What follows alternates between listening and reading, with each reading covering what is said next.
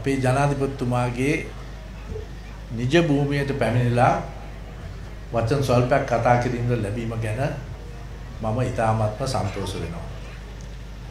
එතුමයි මමයි අවුරුදු 25ක් දැන් පාර්ලිමේන්තුවේ පටන් ගත්ත ඒ මිත්‍රත්වය ඉතාම ළඟින් ඇසුරු කරන දෙදෙනෙක් බවට පත් වෙලා තියෙනවා.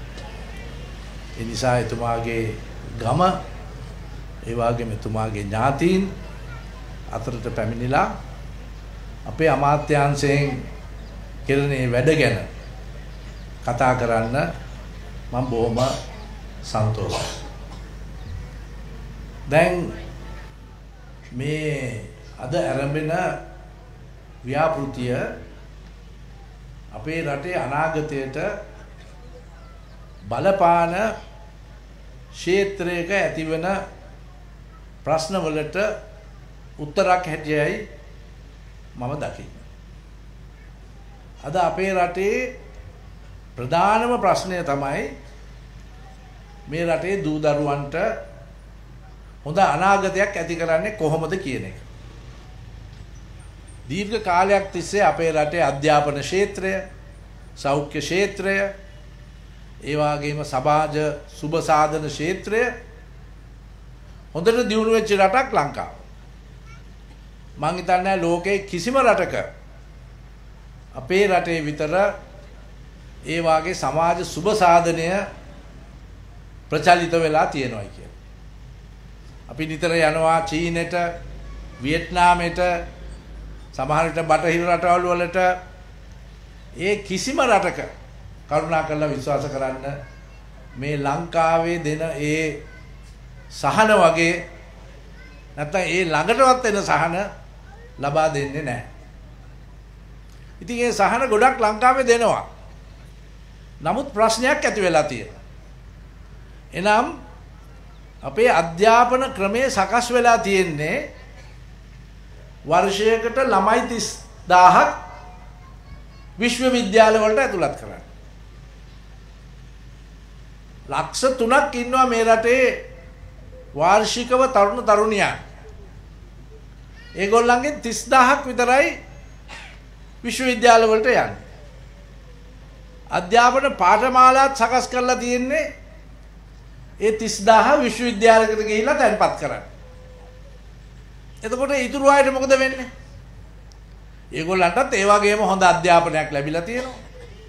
ඒ වගේම සෞඛ්‍ය සම්පන්න අය, ඒ වගේම පහසුකම් ලැබිච්ච අය අද මේ සභාව දිහා බලපුවම අපි මේ රටේ පුරවැසියෝ හැටියට හරිම ආඩම්බරයි. ලෝකේ මේ වගේ තරුණ තරුණයන් ගොඩක් අපිට හමු වෙන්න ලැබෙන්නේ නැහැ.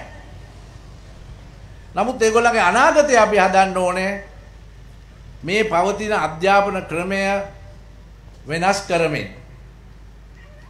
දැන් තමුන්නාන්සලාගේ ගමෙන් ඉපදුන මෛත්‍රීපාල සිරිසේන ජනාධිපතිතුමා කරලා තියෙන සුවිශේෂ වෙනසක් තමයි ඒ සම්ප්‍රදායික අධ්‍යාපන ක්‍රමය තියෙන අතර ඊට විකල්ප තාක්ෂණික අධ්‍යාපනයක් නොමිලේ ලබා දීලා ඒ වගේම ඒ සඳහා විශාල මුදලක් වැය කරලා අපේ රටේ අර 30000 විශ්වවිද්‍යාලයට යන ගමන් ඉතුරු සියලු දෙනාටම හොඳ අධ්‍යාපනයක් දීලා සමහර විට අර විශ්වවිද්‍යාලයට ගිය අයට වඩා හොඳ වේතනයක් ලබා දීලා ඒගොල්ලන්ට හොඳ සාධාරණ අනාගතයක් සකස් කිරීම. එනිසා අද අපේ අමාත්‍යාංශයෙන් කරන්නේ සුළුපටු වැඩක් නෙමෙයි. එසේ මෙසේ වැඩක් නෙමෙයි. මෙතෙක් කල්ම අර 30000 ගැන විතරක් හිතලා අනිත් අය ගැන හිතපු නැති ඉලක්ක කරපු නැති අධ්‍යාපන ක්‍රමය උඩු යටිකුර කරන්න තමයි අපේ අමාත්‍යාංශයේ පරමාර්ථය. ඒගොල්ලන්ට ලැබෙන වේතනයට වඩා වේතනයක් අපි ලබා දෙනවා. ඒගොල්ලන්ට ලැබෙන අධ්‍යාපනය සමහර විට වඩා ජාත්‍යන්තර වටිනාකමක් ඇති අධ්‍යාපනයක් අපි ලබා දෙනවා.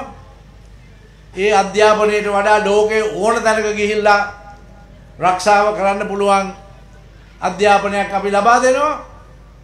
එහෙමනම් අපේ අභියෝගය තමයි ඒ විශ්වවිද්‍යාල ක්‍රමයට තරගයක් දෙන්න පුළුවන් නව අධ්‍යාපන ක්‍රමයක් මේ රටේ ඇති කිරීම සංස්ථාපනය කිරීම. අන්න ඒකයි අපේ අරමුණ. දැන් ඒක ගම්පහ වගේ දිස්ත්‍රික්කයක ගත්තහම මේක විශාල ප්‍රශ්නයක්. අර විශ්වවිද්‍යාලයේ යන ළමයි ප්‍රමාණය හා සමානම විශ්වවිද්‍යාලයේ නොගිය ළමයින්ගෙත් හැකියාවන් තියෙනවා. දැනුම තියෙනවා. ඒගොල්ලෝ සෞඛ්‍ය සම්පන්නයි. ඒගොල්ලෝ හොඳට ඉගෙනගෙන තියෙනවා. එහෙමනම් ඒගොල්ලන්ට අපි අනාගතයක් හදලා දෙන්නේ කොහොමද?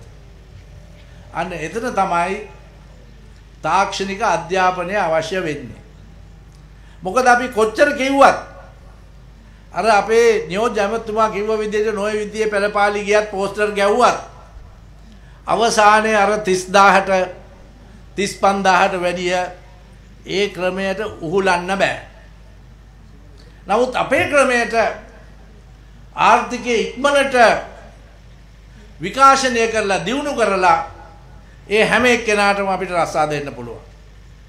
දැන් තමුන්නාන්සලාට මං අර්ථ ශාස්ත්‍රය ටිකක් කියන්න ඕන. දැන් අපේ රටේ ඒක පුද්ගල ආදායම. ඒ කියන්නේ අපේ මුළු වත්කමම රටේම තියෙන ජාතික ධනය ජනගහණයෙන් බෙදපුවා. අපිට තියෙනවා ඒක පුද්ගල ආදායම. ලංකාවේ ඒක පුද්ගල ආදායම ඇමරිකන් ඩොලර් 4000යි. 4200ක් වගේ 4000. 4000 තමයි කඩයිම තියෙන්නේ දුප්පත් රටවල් සහ මධ්‍යම ගණයේ රටවල් අතර. 4000 12000 වුණාම ඇමරිකන් ඩොලර්ස් 1000 තමයි පෝසත් රටක කඩයිම. එතකොට දැන් අපි අර යන්තම් බෙල්ල දාලා තියෙනවා මධ්‍යම ගණයේ පෝසත් රටක් බවට පත් වෙලා තියෙනවා 4200ක ඒක පුද්ගල ආදායම. දැන් මේ 4200 ඉඳන් අපේ රට අඩුම ගානේ 12000කට යන්න බැරි වුණොත් තමයි අපි අර ණය උගුලක හිර වෙන්නේ. මොකද ඒ 4000 ඉඳන් 12000ට ඉන්න අයට නොඑක් ප්‍රශ්න ඇති වෙනවා. ආර්ථික ප්‍රශ්න. ආර්ථිකේ වර්ධනය කරගන්න හැටි. ඒ වගේම අර මධ්‍යම ගණේ ඉඳන් පොහොසත් රටක් බවට පරිවර්තනය වෙන හැටි. ඔන්න ඕකයි ප්‍රශ්නේ. අද මුළු ලෝකේම ජනගහනය ගත්තාම සාමාන්‍ය ගාන ඇමරිකන් ඩොලර් 10000යි. ඒ කියන්නේ ඇත්ත වශයෙන් 12000 තමයි පොහොසත් රටවල් නමුත් ලෝකේම මධ්‍යම ගණේ බලපුවාම තියෙන්නේ 10000. දැන් අපි ඉක්මනට කරන්න තියෙන්නේ අඩු ගානේ ඒ 10000ට අපි යන්න ඕනේ. දැන් හොඳට බලන්න අපේ රට හොඳයි. අවුරුදු 15ක් 20ක් ඇතුළත ඒ ඒක පුද්ගල ආදායම 800ක තිබුණා ඩොලර් 800කට. අපි අද 4200කට ඇවිල්ලා තියෙනවා. ඒක අපිට කරන්න පුළුවන් එක වැදගත් සාධකයක් තමයි යුද්ධය අවසන් කිරීම. යුද්ධය අවසන් කිරීමට පස්සේ එක්තරා සංවර්ධනයක් තියෙනවා අපේ ඒක පුද්ගල ආදායම. නමුත් ඒක මදි. වෙන රටවල් වලට තිබුණා නම් ඒ වගේ දෙගුණයක් යන්න තිබුණා. යුද්ධ ඉවර වෙච්ච ගමන්ම අපි 4000ක් නෙමෙයි අපිට 8000කට යන්න තමයි ඉලක්ක කරන්න තිබුණේ. නමුත් අපිට ඒක කරන්න බැරි වුණා. දැන් අපි ඒක ඉලක්ක කරනවා නම් මොකද්ද අත්‍යවශ්‍ය සාධකය? අත්‍යවශ්‍ය සාධකය තමයි තාක්ෂණය සහ නව දැනුම. තාක්ෂණය හා නව දැනුම රටකට දාන්න බැරි නම් අපිට මේ විදිය ආයතන තුලින් තමුන්නාස්ලාට ඒ දැනුම අපිට දෙන්න බැරි නම් අපි මොන දේ කිව්වත් මොන බණ කිව්වත් මොන දේශපාලනය කරත් මොන නායකය තෝරගත්තත් කවදාවත් මේ 12000 ඉලක්කයට යන්න බෑ. එහෙමනම් අද ලංකාවේ ප්‍රශ්නය කවුද නායකයා? මොකද්ද ලාංඡනය? මොකද්ද කරන්න කියන එක නෙමෙයි ප්‍රධාන ප්‍රශ්නය. ඒවා සම්බන්ධ වෙන්න පුළුවන්. නමුත් ප්‍රධාන ප්‍රශ්නය තමයි කොහොමද අපි මේ ආර්ථිකය ඊටාම ශීඝ්‍රයෙන් අර මැද පන්තියේ ආර්ථිකයේ ඉඳන් පෝසත් පන්තියේ ආර්ථිකයට ගෙන යන්නේ. අන්න ඒකයි ප්‍රශ්නේ. ඒක කරන්න නව දැනුම සහ තාක්ෂණය අවශ්‍යයි. අන්ත මේ තාක්ෂණය ගැන ප්‍රශ්නේ තියෙන්නේ අපි ඉදිරියට ගියේ නැත්නම් පස්සට යනවා. ඉදිරියට ගියේ නැත්නම් එක තැන ඉන්න බෑ. අනිත් රටවල් අපිව පන්නගෙන යනවා. අද ඇත්ත වශයෙන් අපි විද්‍යාව කියලා උගන්වන දේ සම්පූර්ණයෙන් මදි රටක් දියුණු කරන්න. මිට වඩා අලුත් විද්‍යාව අලුත් තාක්ෂණය ගේන්න ඕනේ. දැන් තමුන්නාසලට කියන්න පුළුවන් අවුරුදු තුනක් යනකොට මේ තමුන්නාසලා ඉඳගෙන පුටුවේ ඉඳන් කැමරාව ඇල්ලුවොත් ඉපදිච්චි දවසේ ඉඳන් ඒ පුටුවේ ඉඳ ගන්න දවස වෙනකල් ඩේටා ඒ දැනුම අපේ කොම්පියුටර් එකට ගන්න පුළුවන්. අපේ ටෙලිෆෝන් එකට ගන්න පුළුවන්. මේක ලොකු දෙයක් නෙමෙයි තමුන්නාසලා කල්පනා කරන්න බලන්න පහුගිය අවුරුදු 10 තුල මේ ස්මාර්ට් ෆෝන් එක පාවිච්චි කරලා තියෙන්නේ කොහොමද කියලා. අවුරුදු 10කට ඉස්සෙල්ලා මෙතන ඉන්න කවුරුත් අද ටෙලිෆෝන් එක පාවිච්චි කරන්න පුළුවන් මේ විදිහට පුළුවන් වේද කියලා හිතුවද? මුලින්ම ආවේ ගඩොලක් වගේ එකක්. ගඩොලක් වගේ එකක් හැමදාම උස්සගෙන යන්න ඕන. ඒ දවස්වල දේශපාලන කුමන්ත්‍රණය කරනකොට අනිවාර්යයෙන්ම ස්මාර්ට් ෆෝන් එකක් පාවිච්චි කරන්න ඕන. මොකද නැත්නම් ඒ රහස ඔක්කොම ටැප් කරන්න පුළුවන්. නමුත් ඒ ස්මාර්ට් ෆෝන් එක පාවිච්චි කරොත් ඕනෑම දේශපාලන කුමන්ත්‍රණයක් කරන්න පුළුවන් රජය දන්නේ නැතුව. ඒක ඒක මම නව තාක්ෂණයේ උදාහරණයකට ඉදිරිපත් කරනවා නෙමෙයි. නමුත් ඔයිට වඩා ගොඩාක් ඉස්සරහට යනවා නව තාක්ෂණ. හැම දෙයක්ම සම්පූර්ණයෙන් වෙනස් කරන්න පුළුවන්. දැන් මේ ළඟදී අපි ගියා චීනෙට. තමුන්නාන්සලා දන්නවද අද අපේ රටේ කොයි තරම් දෙමව්පියෝ ඉන්නවද තමන්ගේ ඒ දරුවන්ට අර ඩවුන් සින්ඩ්‍රෝම් කියලා. ඒ කියන්නේ ඒ ළමයා සම්පූර්ණයෙන් වැඩෙන්නේ නැහැ. යම් යම් ප්‍රශ්න ඇති වෙනවා. ආබාධිත ළමයි ඇති වෙනවා. ඒ මුළු පවුල් විනාශ වෙනවා. නමුත් අද ඇමරිකාවේ කෙලඩිංගක් දැම්මොත් වීදුරු කෑල්ලක දාලා ටෙස්ට් කරොත් ඒ උපදින ළමයා ගැන සම්පූර්ණ ඉතිහාසය කියන්න පුළුවන්. අපි චීනෙට ගියා අර ලේ ටෙස්ට් එකක් ගත්තොත් අම්මගේ සම්පූර්ණයෙන් කියන්න පුළුවන් ඒ දරුවගේ අඩුපාඩුවක් තියෙනවද ප්‍රශ්නයක් තියෙනවද කියලා. දැන් අලුතෙන් තියෙනවා ජීන් ටෙස්ටිං. ලෙඩ විශේෂයෙන් පිළිකාව ගැන පරීක්ෂා කරගෙන යනවා. ඒ ජීන්ස් වලින් හොයලා බලලා ඒ පිළිකාව ඇති කරන තැනට අපිට පුළුවන් අපේ බෙහෙත් ලබා දීලා ඒක විනාශ කරලා දාන්න. ඒක අපි පුදුමාකාර විදියට ලෝකය වෙනස් වෙනවා. එතකොට ඒක කරන්න පුළුවන් තාක්ෂණය තුලින්. දැන් බලන්න තමුන්නාස්ලා ගිය සුමානේ මම දැක්ක පත්තරේ අද ජනාධිපතිතුමා ඒ ළමයට තෑග්ගකුත් දීලා තියෙනවා අදද ඊයේද කිලෝමීටර් දෙකක් යන්න පුළුවන් රොකට් එකක්. හා කිලෝමීටර් 20ක් යන්න පුළුවන්. අද කිලෝමීටර් 20ක් කෝච්චිය යන්න පුළුවන් තමුන්නාස්ලාට. මේ ගම්පහයට හරි අමාරුයි. කෝච්චිය නැග්ගහම කිලෝමීටර් 20ක් ඇවිල්ලා ගෙදර බහින්න. මේ ළමයි කලලා තියෙන රොකට් එකක් හදලා. ඉතින් ඒ වගේ වෙනස් වෙනවා රට. කෝච්චිය ආපස්සට යනවා රොබොට් එක ඉස්සරහට යනවා. ඉතින් අපි මේ තාක්ෂණය වැළඳ ගන්න ඕනේ. මම එකක් කියන්න ඕනේ මේ අවුරුදු ගානක් 1930 ගණන් වල ඉඳන් ඒ අධ්‍යාපන ක්‍රමය හදපු නිසා අපිට වෙනාට වඩා ඉස්සෙල්ලා තාක්ෂණයට යන්න පුළුවන්. අද ඉන්දියාවට ගිහිල්ලා තාක්ෂණය කතා කරොත් බංග්ලාදේශයට ගිහිල්ලා තාක්ෂණය කතා කරොත් ඒගොල්ලෝ කියන්නේ ඉස්සෙල්ලා ඔයගොල්ලෝ ඉගෙනගෙන එන්න. හොඳ අධ්‍යාපන ක්‍රමයක් හදලා ඊට පස්සේ තාක්ෂණය ගැන කතා කරනවා. අපිට එහෙම නැහැ. අපේ ළමයින් දැන් ලෑස්ති තාක්ෂණයට. එහෙනම් අපි මේ අවස්ථාව සලසන්න. අන්න ඒක තමයි අපේ අමාත්‍යාංශයේ අරමුණ.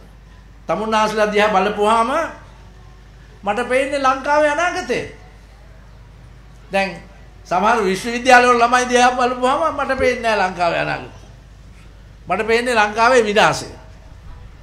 නමුත් තමුන්නාස්ලා දිහා බලපුවම මට පේනවා ලංකාවේ සාර්ථක අනාගතය.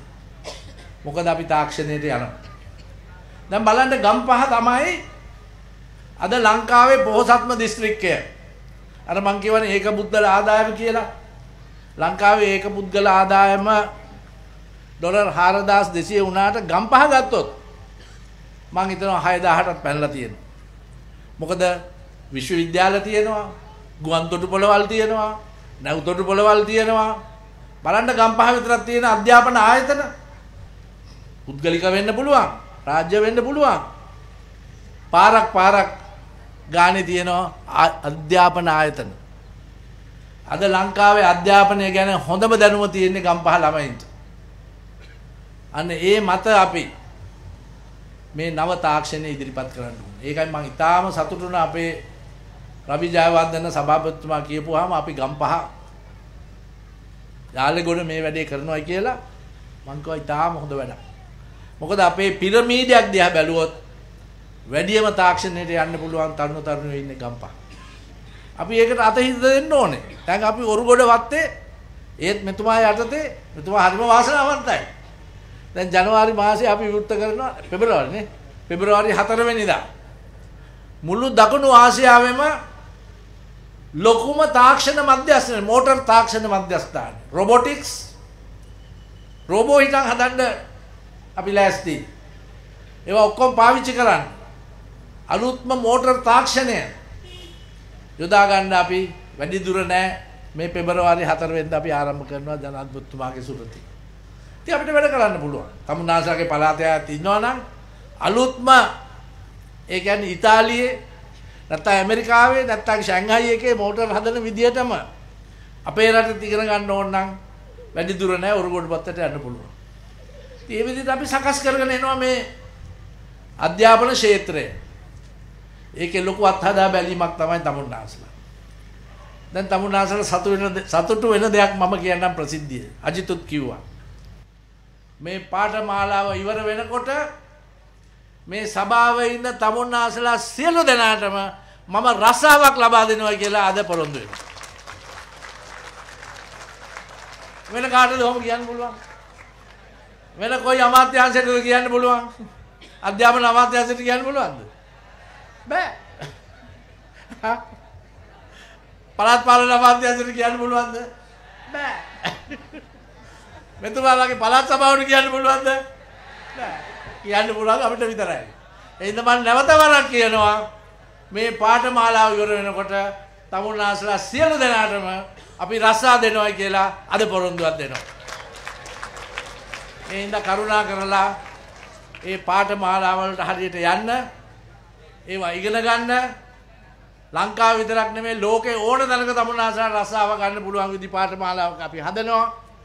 ඒ හින්දා ඒ අනාගතය සුරක්ෂිත කරනවා කියමින් තමුන්නාසලා සියලු දෙනාටම ඊටාම වාසනාවන්ත අනාගතයක් අපි ඇති කරනවා කියමින් ඒ වගේම මේ අවස්ථාව පුදුමාකාර කැපවීමකින් තමුන්නාස ලබා දුන්න අජිත් අපේ මන්ත්‍රීතුමාට මගේ ස්තුතිය ප්‍රකාශ කරමින් මගේ වචන ස්වල්පය අවසන් කරනවා.